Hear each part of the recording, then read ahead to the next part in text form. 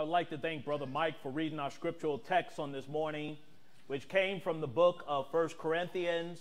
The chapter was 6, and the verses were 9 through 11. But before we delve into this text, there's another verse or another passage of scripture that I'd like for us to read. As to this Sunday, we're going to begin a series of lessons over the next five Sundays dealing with the text of Matthew chapter 1, verses 1 through 6. And so, if you have your personal copy of God's Word, please turn with me, if you will, to the book of Matthew. The chapter is 1, and we're going to begin with verse 1 and read down to verse 6. Reading from the English Standard Version of the Bible, there you will find these words The book of the genealogy of Jesus Christ, the son of David, the son of Abraham.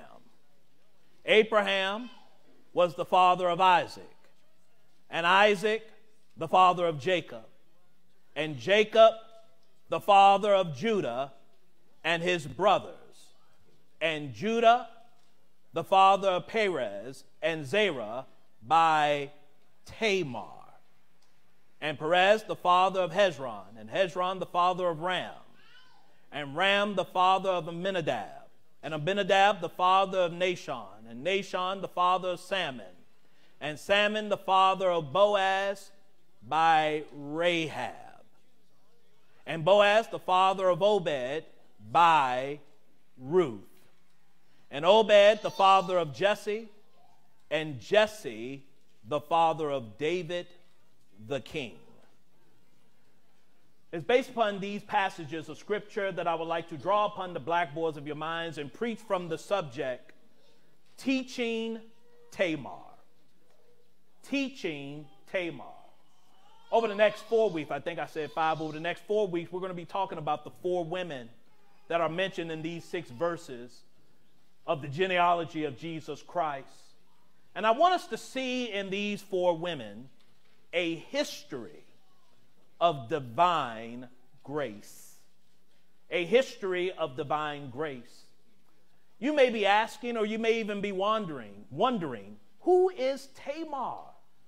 That is an unusual name. I've heard sermons my entire life. I've never heard of Tamar. I've heard of Tamar Braxton, but I have not heard of Tamar of the Bible. So, who is Tamar? Well, I want us to know on this morning that Tamar is one of the five women mentioned in the lineage of our Savior Jesus Christ. She is a part of Jesus' history.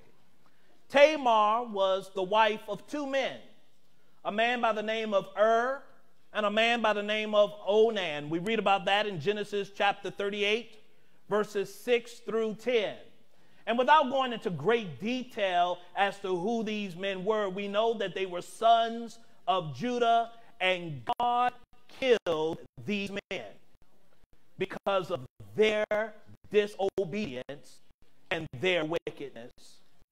Being married uh, to these men made Tamar the daughter in law of a man that we do know about, and his name is Judah. Judah was the son of Jacob the grandson of Isaac, and the great grandson of a man by the name of Abraham. Judah did have a third son, and his name was Shelah, that he had promised to Tamar, according to the law of the patriarch, that when he is of age, you will marry him. And we read about this promise in this conversation in Genesis chapter 38 and the verse is 11.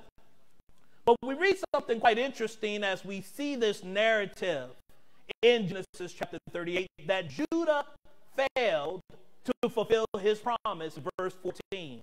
And when he failed to keep his word to Tamar, this thing displeased Tamar. We see that in verse 14. Now, while in her father's house, so because Tamar no longer had a husband and she was a widow, she had to go back to her father's house and she had to put on the garments of a widow. But time had passed, and Shelah was of age, and Judah never sent for her. But something happened during this time. Judah's wife also died, and he himself is in mourning.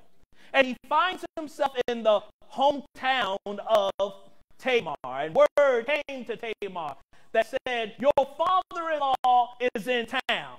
And so Tamar says, Well, since he did not keep his word, I'm going to fix this situation.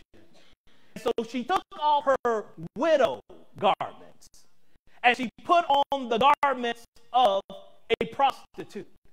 And she covered her face and she went to the street corner soliciting. And Judah passes by and he decides to give in to her advances. And so Judah lays with his daughter in law, Tamar. And we read about that in Genesis chapter 38, verses 15 through 23. And so not only was Tamar displeased with Judah, but Tamar used deception to get her way in this situation. But then some time passed, and Tamar began to show because she was pregnant. She what she conceived during that time. And when it was discovered that Tamar, who was supposed to be in her widow garments, was pregnant and with child, then Judah, being the righteous patriarch that he is, decided to bring her out and make an example of her and burn her at the stake according to the law of patriarchs for playing the harlot when she's supposed to be a widow. And so we see that in Genesis chapter 38, verse 24. Now, even though this was the law of the patriarchs that clearly was given to Judah by God, because we know that God spoke through the patriarchs in Hebrews chapter 1, verse 1, it later became a law under the law of Moses in Leviticus chapter 21, verse 9. But then something happened before fire got just right. When Judah was made aware that he himself was baby daddy, then all of a sudden things changed. He said, She is more righteous than I. He repented for not bringing his son to Tamar and therefore it was through his sin and his and his disobedience and his inactivity and his own fornication is what has brought about this situation. Tamar's life was spared. And we read about that in Genesis chapter 38, verses 25 and 26. And Judah bore twins, or Tamar gave birth to twin boys. One was named Pharez, and the other was named Zerah. And we read about that in Genesis chapter 38, verses 27 through 30. Now, my brothers and sisters, ladies and gentlemen, I, I believe that the Holy Spirit moved the Apostle Matthew to do what many believe to be two taboo things in identifying Tamar so that we can see God's grace and so that we can see God's mercy at work in this woman, but also in the lives of all those who will come to know Jesus for themselves. The first taboo thing Matthew does is that Matthew names women in the paternal lineage of the King of Kings. This was something that just wasn't done. But Matthew in Scripture does it. The second thing that he does that I find interesting is the fact that Matthew identifies women who were noted for doing shameful things, or their mere existence was shameful. He doesn't identify Sarah in the lineage. He doesn't identify Rebecca in the lineage. Doesn't identify Leah in lineage. But he identifies the wife of Uriah. He identifies Rahab. He identifies Ruth. And just by reading Tamar's history just now, he identifies Tamar. These are the women that you don't want nobody to know you are related to. But Matthew brings it out for everybody to know that your Messiah, your King of Kings, your Lord of Lords, has some skeletons in his closet. We cannot tell the story of Jesus without telling the story of Tamar. Because we see that God used Tamar to bring salvation to many. For through Christ, many are saved. See, in life, my brothers and sisters, we will encounter many Tamars in our family. We will encounter some Tamars at work. When we evangelize, we will encounter some Tamars in this community who need to be taught the saving message of Jesus Christ. And so, this message of Tamar that is being presented on this morning is designed to do three things. Number one, as hearers of God's word, we must understand that we all got some Tamar in us. See, sometimes we forget that Tamar's story used to be our story. That's why we had to read 1 Corinthians chapter 6, verses 9 through 11, in which Paul identifies here are all the things God called you out of. And you used to be like this. So before the next adulterer walk in and you look down at them, remember that used to be you. When the next idolater walked in here and you look down at them, remember that used to be you. When the next swindler come walking in here and you look down at them, that used to be you.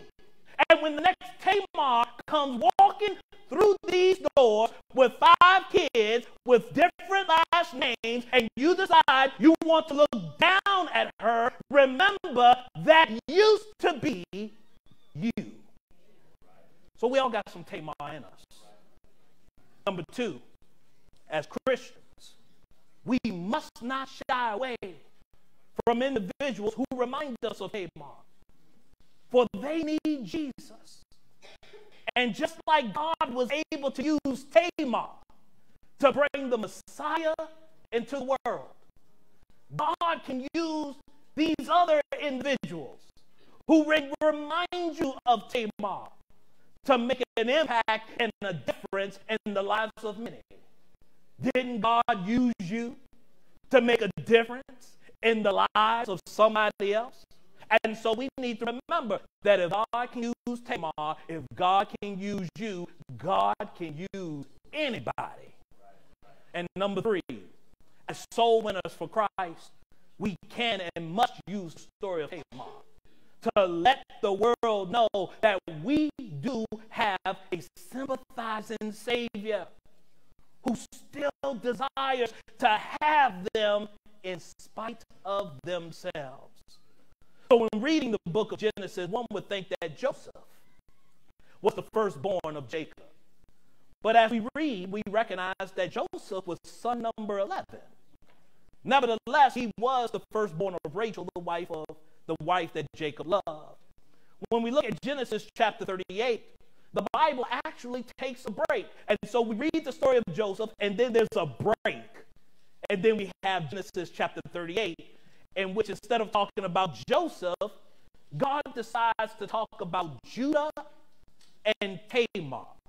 Now, one would think that Judah was the firstborn. After all, the king's bloodline tends to pass through the firstborn. But Judah was not son number one. He wasn't even son number two. He wasn't even son number three. Judah was son number four. Therefore, we cannot bring up Tamar unless we bring up Judah. And we cannot, cannot bring up Judah unless we talk about his brothers, Reuben, Simeon, and Levi. Let's start off by talking about this man by the name of Reuben. Reuben was the firstborn of Jacob.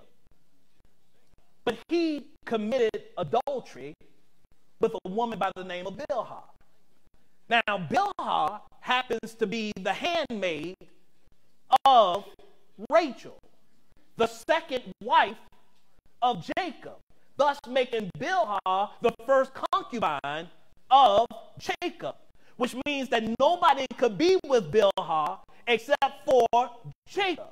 But Reuben, after the death of Rachel, decides to go and have his way with Bilhah. We read about that in Genesis chapter 35, verse 22. And we're going to read later that Jacob never forgot about that. We also see that this man by the name of Reuben, he was not a leader.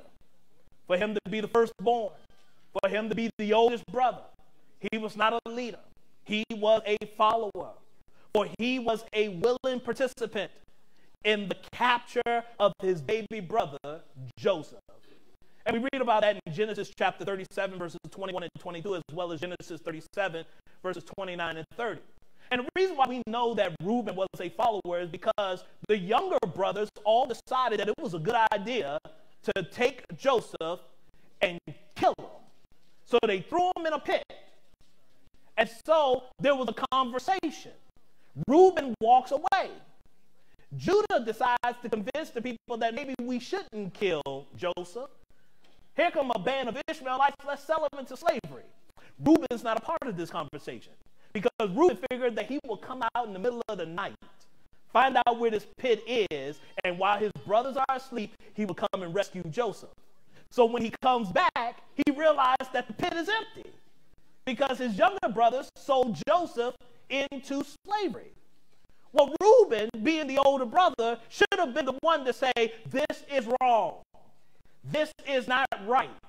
But this older brother gives in to the will of the younger brothers. I mean, I wish that my younger sister ever tried to tell me, her oldest brother, what to do. I'm the older brother. I, I get the pull rank.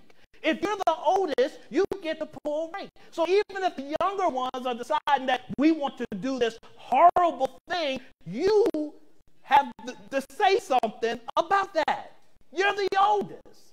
I mean, don't you know that the oldest gets in trouble regardless of what the younger does? I mean, it's like you're the oldest. You should have known better. You should have stopped this. And we see that Jacob, once again, does not forget about this. Now, notice that when it was required by the governor of Egypt to bring Benjamin to Egypt to prove that Jacob's sons were not spies. So we're talking 13 years later that they have been promoting this lie that Joseph is dead. Now, Joseph is in charge. 20 years later, rather, it's 20 years later at this point. He is now in charge of all of Egypt, and now they have to come and they have to beg this governor, their own brother, for food. And so Joseph is having fun with them seeing if they really learned their lesson. He says, Who are you guys? They say, Hey, we are, we are the sons of a father who has 12 sons. He says, I only count 10. They said, Well, one died, and the baby brother is still at home. He says, Well, I don't believe you. Go get the younger brother. So they come back and they tell Jacob what has been decreed. Jacob says, How did you tell them I got other kids? But yet, they said, Okay, we'll, we'll, we'll make a deal. Reuben stands up and says, Put Benjamin in my charge. And if I don't come back with Benjamin, you can take my kids. So Reuben is not willing to sacrifice himself, but he's willing to sacrifice his children, just like he was willing to sacrifice his brother Joseph. The actions of Reuben made him a fornicator, made him a coward, and made him selfish. So hear the words of Jacob as Jacob is on his deathbed in Genesis chapter 49, verses 3 and 4. The Bible reads in Genesis chapter 49, verse 3 and 4 Reuben, you are my firstborn, my might, the first fruits of my strength, preeminent in dignity and preeminent in power, unstable as water You shall not have preeminence because you went up to your father's bed. Then you defiled it. He went up to my couch. So this is why we see Jesus not coming through Reuben. But what about Simeon and Levi? Those are the next brothers, Simeon and Levi. Well, let's talk about Simeon and Levi. Simeon and Levi are child number two and child number three. Their son number two, son number three. Simeon and Levi, they had a sister by the name of Dinah. And this girl, Dinah, was defiled by the prince of the land. In other words, her virginity was taken from her. Now, based upon the law of the patriarchs, a bride price was required to make Dinah the wife of the prince. We read of a similar law in the Mosaic age when we take a look at Exodus chapter 22, verses 16 and 17. So Simeon and Levi required that the prince and all the men pay this price, and the price was circumcision. They say, You want to marry my sister? You're going to have to become like us. You're going to have to be circumcised. And the prince says, That's it? All of us just have to be circumcised and I get to be with your sister? They were like, All right, here's the decree all men be circumcised. So everybody in the land was circumcised. Now, as these men were recovering from this archaic surgery, because they didn't have lasers back then, they didn't have scalpels back then, they didn't have knives as we know them today back then. But yet these men were able to do this thing called circumcision. So as they are recovering, because it was painful, Simeon and Levi, while these men were defenseless, went into the camp and killed them all. Killed them all in Genesis chapter 34. But Simeon and Levi came up with the promise, came up with the deal, came up with the arrangement. Simeon and Levi were liars. They were men that were controlled by anger, and they were murderers. So, hear what Jacob has to say about these two sons on his deathbed when we look at verses 5 through 7 of Genesis chapter 49. The Bible reads Simeon and Levi are brothers, weapons of violence are their swords. Let my soul come not into their counsel. O my glory, be not joined to their company. For in their anger they killed men, and in their willfulness they hamstrung oxen. Cursed be their anger, for it is fierce, and their wrath, for it is cruel. I will divide them in Jacob and scatter them in Israel. Now we know the story of Tamar. We read the story of Reuben. We read the story of Simeon. We read the story of Levi. And when we hear about what Judah did, Judah is no different than his older brothers. So why Judah instead of Reuben? Why Judah instead of Simeon? Why Judah instead of Levi? Well, what made Judah different from Reuben, Simeon, and Levi? Was the fact that Judah did something that the other three refused to do. Judah was a man of repentance. Judah repented. Judah recognized the error of his way, stopped the sin, confessed his fault, and started to do the right thing. He was a man that was all about making it right. He knew how to say, I am sorry. He knew how to say, I am wrong. He knew how to make restitution. What can I do to make this right? He knew how to turn away from his error and start doing the right. He knew how to ask for forgiveness. See, Judah was a fornicator, and Judah was a deceiver. But the Bible tells us in Genesis chapter 38, verses 15 through 26, that he repented of them both. Judah sold his little brother Joseph into slavery. When you look at the text in Genesis 37, verses 25 through 28, it was Judah's idea. Don't kill him, sell him.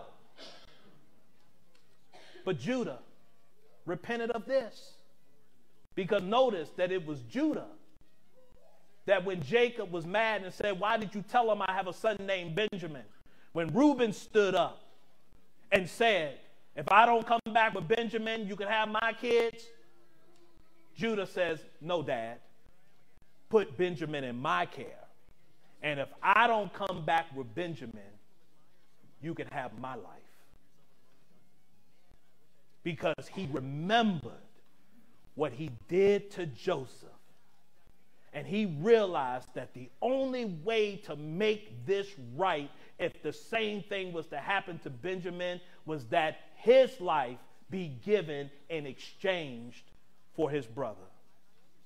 And so, this brings us to the words of Jacob towards his son Judah on his deathbed in Genesis chapter 43, uh, 49, verses 8 through 12. The Bible reads Judah, your brothers shall praise you, your hand shall be on the neck of your enemies, your father's son shall bow down before you. Judah is a lion's cub. From the prey, my son, you have gone up. He stooped down, he crouched as a lion and as a lioness. Who dares rouse him? The scepter shall not depart from Judah, nor the ruler's staff from between his feet, until tribute comes to him, and to him shall be the obedience of the peoples, binding his foal to the vine and his donkey's coat to the choice vine. He has washed his garments in wine and his vesture in the blood of grapes. His eyes are darker than wine and his teeth whiter than milk. And so we talked about Tamar, Reuben, Simeon, Levi, and Judah. For what purpose? What are we to learn from the story of these individuals? What are we to learn from the story of Tamar? What is three points, and then the lesson is yours to respond to. Point number one is that God is holy. God is absolutely holy. He will not tolerate wickedness. He will not tolerate disobedience.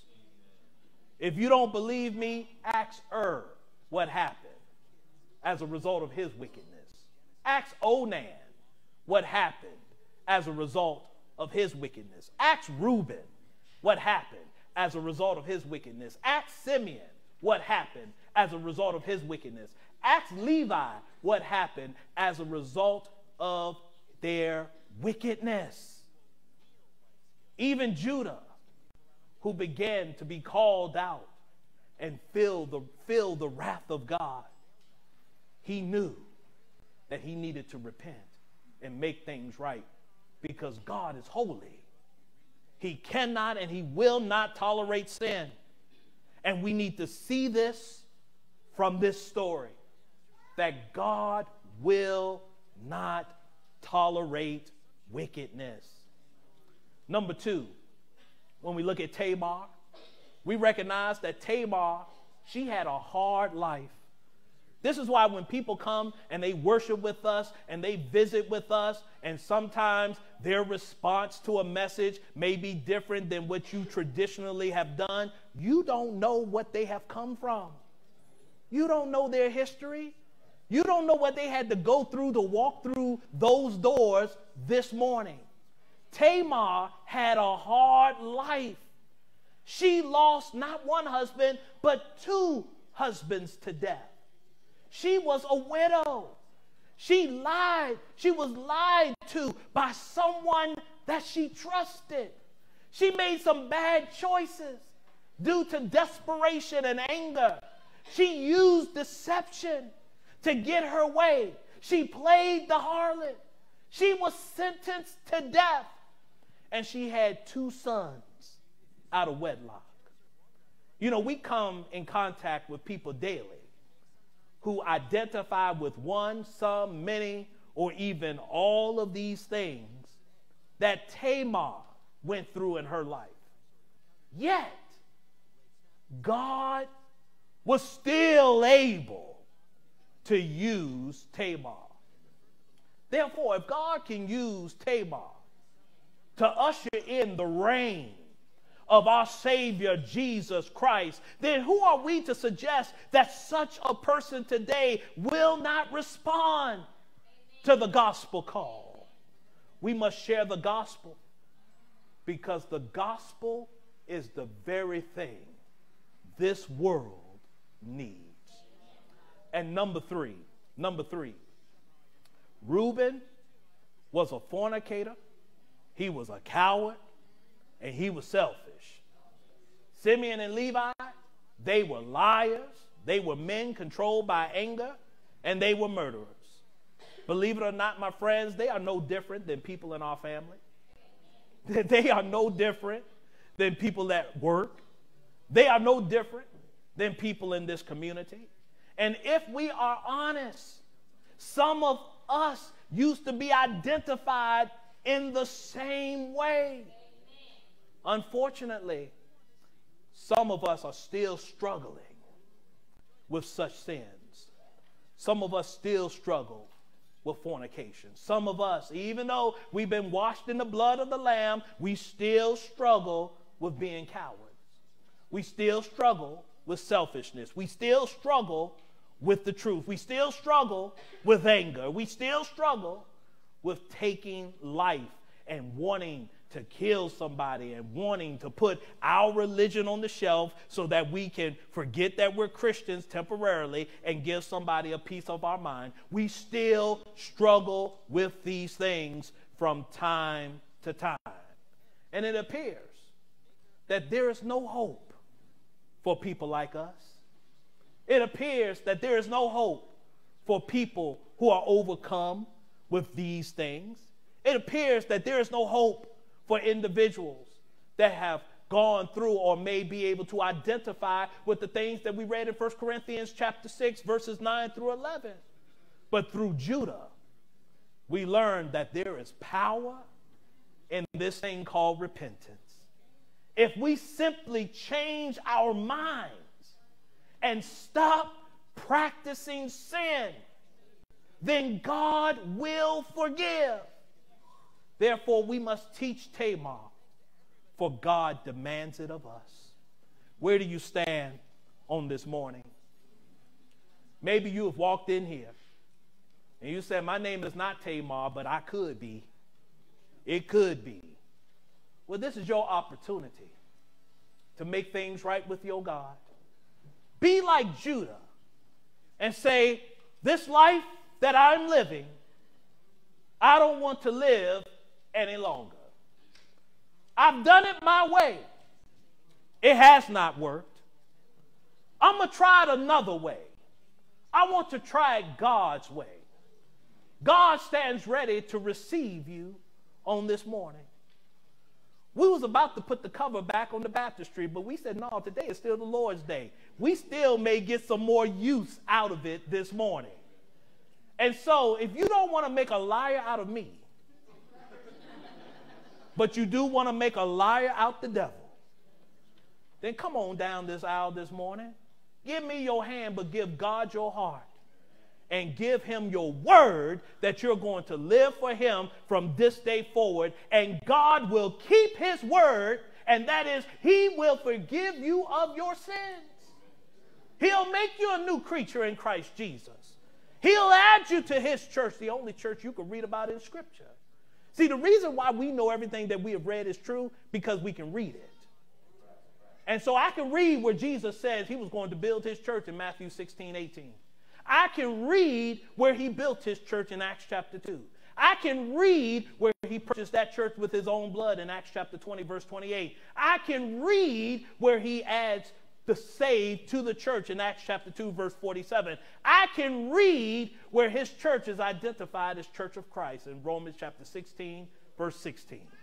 So why not become a member of a going church for a coming Lord, which does all that God authorizes? You've heard his word, believe it.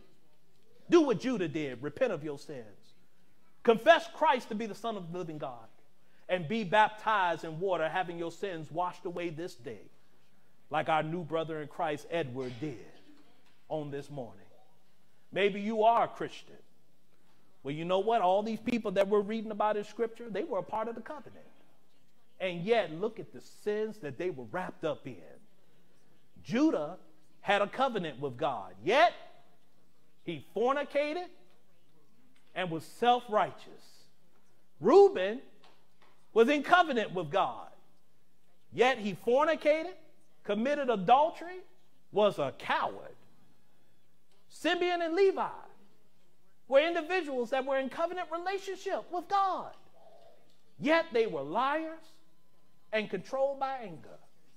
And Tamar was a woman that was in covenant with God, yet she played the harlot just to manipulate and get Judah to do what Judah had promised to do, and that was to give her his son so that she can have kids. And yet, we see that God in this narrative was able to use Judah and was able to use Tamar to do a great thing. So here, here, here's the message in that.